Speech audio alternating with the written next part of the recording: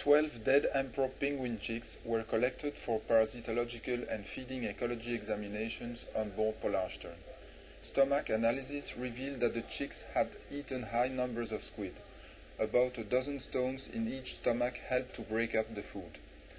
The most extraordinary finding was one so far undescribed parasitic nematode species. But how did the parasites get into the stomach? Emperor penguin chicks don't forage for themselves. They get fed by their parents.